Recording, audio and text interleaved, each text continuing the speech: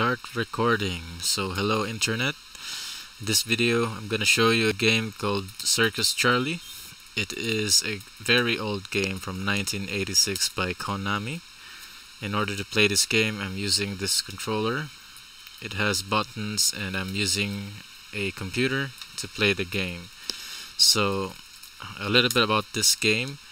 Um, it is very simple. It's 2D it's uh, one of our childhood games before and most of the people today uh, would not find this amazing but this is a very uh, good experience when we were kids. So now I'm gonna show you the gameplay for this game.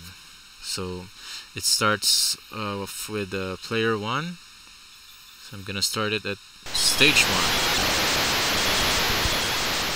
so it may be a simple game but it requires some calculations and concentration and very good timing. So as you can see I'm very focused. I'm not stopping. I'm jumping at the right time and the right place so I will not catch the fire. Okay. Focus. Focus is very important. Okay, almost there. 20 ah, ah! Okay, so sometimes that happens. Okay, just do it again. Okay. And don't be fooled by that music because the music can be a distraction. So just focus. You're almost there. And okay, finishing line.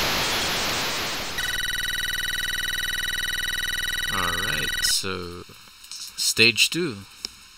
This one is easier. You're just jumping over a, a bunch of monkeys on a wire.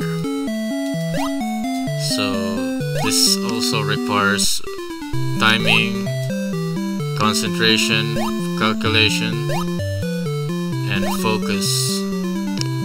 Okay, 500 points. So this is how we play games uh, back in our day. No 3D, no iPhones, no touchscreen, just pure joy. So that is easy. So stage 3 is a little bit more complicated. It involves jumping off the balls and ah, if you're not focused, you're gonna fall.